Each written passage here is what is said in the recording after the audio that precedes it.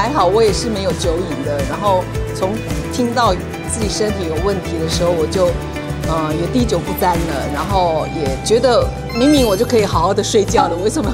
其实我一直觉得酒本来就不好喝，那么难喝，为什么有人要喝？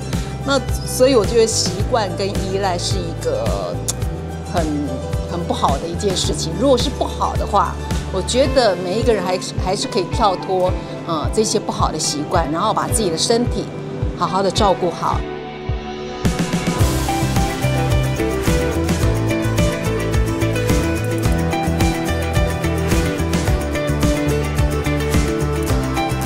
其实我没有看报告，我就说我我真的是很粗心的，要不然这个三年前的报告其实就很糟糕了，因为都会有简简单的一些报告嘛，我也没有去去看它，然后医生跟我解释也都哎要注意什么的，嗯，好好好，但回来我也没有再看那个简单的报告，那个红字，是我女儿回来她才去翻我的报告，嗯，疑似食道癌，我说有吗有吗？再看了一下，那其实那时候也觉得。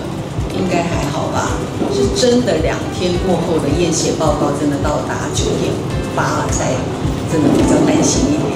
快三年前检查的时候是呃，因为我检查就着重在我的呃肠胃，呃家族有胃病啊，有大肠癌的那个迹象，那所以我比较着重在这两个。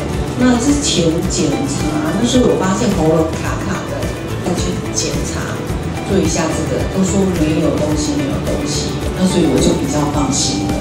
对，嗯，那这一次是真的，呃，看到食道的一个十公分的灼伤，所以才觉得严重些。我想是跟喝烈酒的关系吧，嗯声音也会比较沙哑一点，以为自己年纪到了是比较低沉一点，结果不是。其实我对酒的印象没有很好。比如小时候啊，住我阿姨家，我的姨丈，嗯，因为喝酒啊，所以脾气都变得暴躁，然后会打女人啊，打老婆啊。然后我之前 交的男朋友也都有爱喝酒啊，所以我真的非常非常讨厌人家喝酒，真的。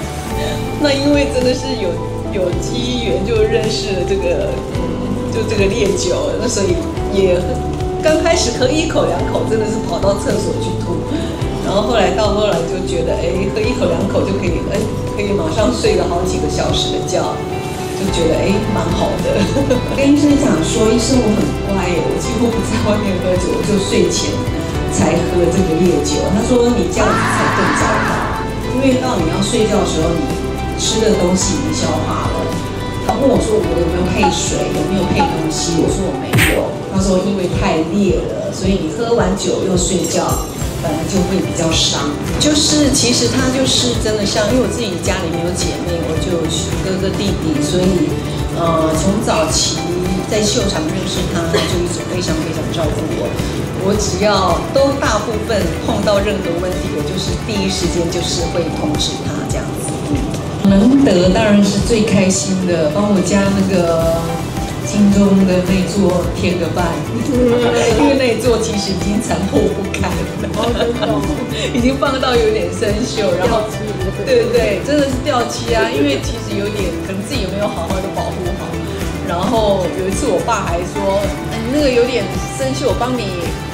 你拿回脏话来，我帮你给吐吐吐嘞，背上给吐了金，哥哥然后吐起来，讲变变烂惨，然后又有一半是银色的，所以如果能够再得个金钟奖，就再拿给我爸看看喽。那这次有没有看就是自己对手演员啊？就是哪？